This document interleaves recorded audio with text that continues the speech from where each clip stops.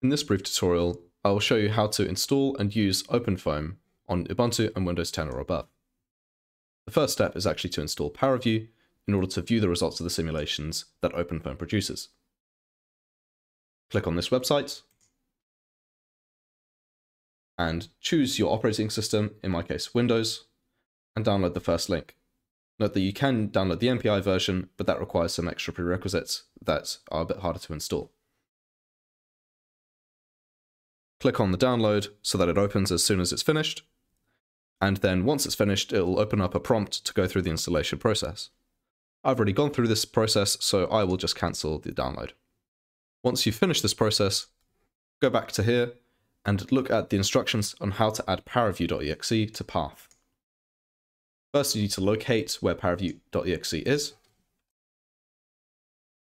Type in ParaView in the search bar, right click on it, click Open File Location, and then this is a shortcut, so I need to open the file location of this again. And here we have our .exe file.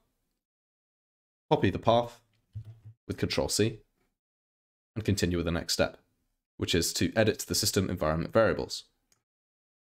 So we type in edit system environment variables, click environment variables. We look in the bottom box here for system variables. We scroll down till we see path. We select it and click edit. We click new. We paste in the path we copied earlier with control V. And then we click OK. I've already added this path, so I will just delete it. Okay, okay, okay. And there we go. Now, because of this step, we can now run paraview.exe from the command line. The next step is to install Ubuntu if you're running on Windows 10. Click on this website and install WSL 1. Importantly, we're using WSL 1 for reasons outlined over here. First, you want to open PowerShell as administrator. Type in PowerShell, either click Run as administrator, or right click and click Run as administrator. Click Yes, and then paste in the command and press Enter. I've already run this command, so I won't press Enter here. Once that command is run, close the prompt and restart your computer. Next, move on to step 6, which is to install the Linux distribution. We go to the Microsoft Store, and we type in Ubuntu into the search bar. Press enter, click on the first result, and click install or get. I've already downloaded it, so it has open here for me instead. Now that you've installed Ubuntu, run it by typing in Ubuntu into the search bar at the bottom and clicking on the first result. This will lead you to a prompt which will ask for your username and password. This will just be a first time setup for Ubuntu, and every other time you run it, you won't get that prompt. I've already done it, so I only just get this blank command line. Now, paste this instruction into the command line. Remember that to paste into Ubuntu, you need to right click instead of typing Control V, because Control V types this strange character here. Press enter and type in the password you just set up. Wait for the command to run. Now that command is finished, go back to the wiki page, copy paste this command into your prompt, and press enter. I've already installed OpenFOAM, so I won't press enter here. Once you've done that and the command is finished, you want to edit your tilde slash .bash rc file.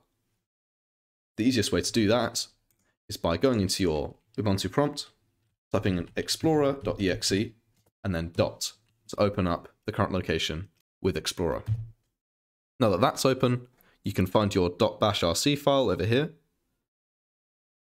Click on it, right click, then click open with, and then it'll ordinarily give you this pop up. Choose Notepad, or I've already installed Visual Studio Code, so, but I'll just open it with Notepad. Now scroll down all the way to the bottom,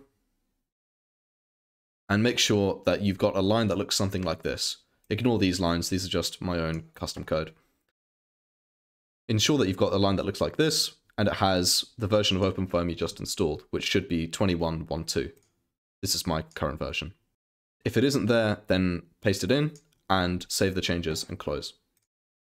Once you've done that, restart your Ubuntu prompt and then continue with the next step to verify that your installation process ran correctly. Make sure you're in the home directory. Again, pasting is a bit dodgy here. And then make a tutorial directory so that you can store all of your uh, OpenFOAM simulations. If the pasting will work.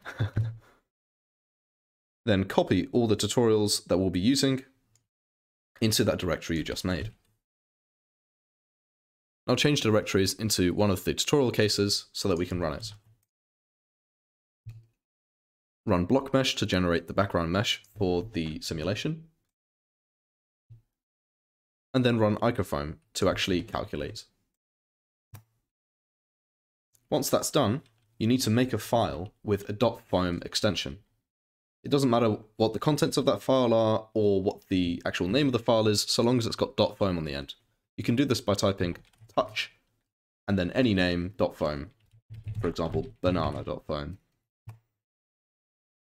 And since you've run this step, if you're running on Windows, you can type paraview.exe and then that .foam file.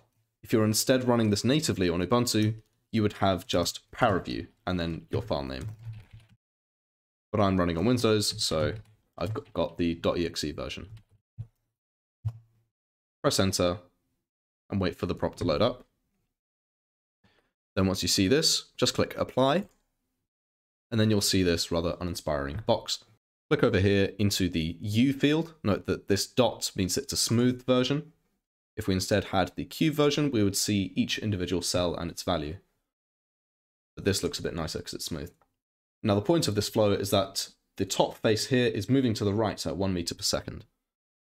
And we can see the direction of the flow by clicking the glyph button, clicking arrow or making sure that arrow is selected, orientation array U with the dot next to it, and then no scale array, and reset to make sure it's the correct scale factor.